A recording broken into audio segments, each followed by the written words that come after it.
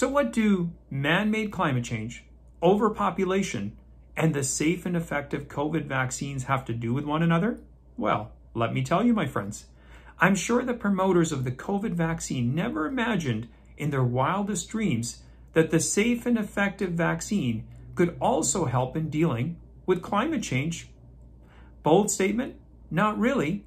You see, a Canadian public interest research group, Correlation, published a new study yesterday titled COVID 19 Vaccine Associated Mortality in the Southern Hemisphere.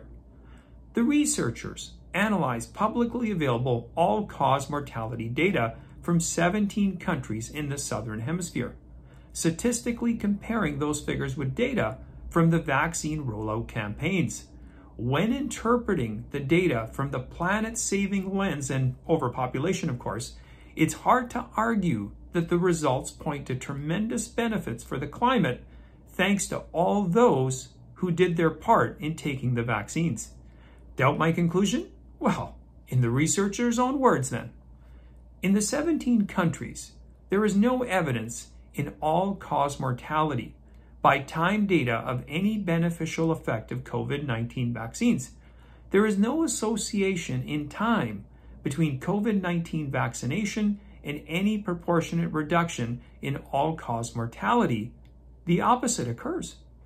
Nine of the 17 countries have no detectable excess all-cause mortality in the period of approximately one year after a pandemic was declared on the 11th of March 2020 by the World Health Organization until the vaccines are rolled out.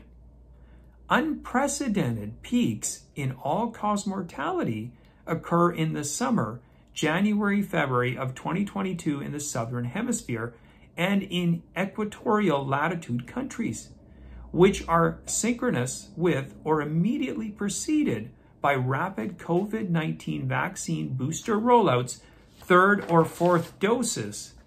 This phenomena is present in every case with sufficient mortality data in 15 countries. Now, of course, where I would differ with the authors is their conclusion. In my opinion, they illogically concluded that governments should immediately end the policy of promoting the COVID vaccines on vulnerable elderly people.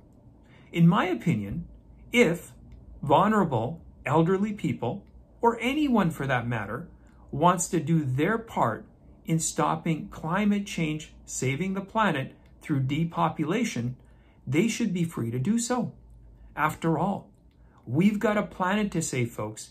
And according to the experts, well, depends on which one you listen to, of course, We've got anywhere from one to 10 years to do so. So let's get to it. Anyway, if you're interested, I put a link in the notes section to the study so you can see for yourself what wonders this vaccine has done in saving the planet. Anyway, I'll see you next time. Uh, follow me on my Rumble, my locals. If you haven't subscribed to my channels, please do so. You can also follow me on my Twitter at Kammer612, and I will see you next time.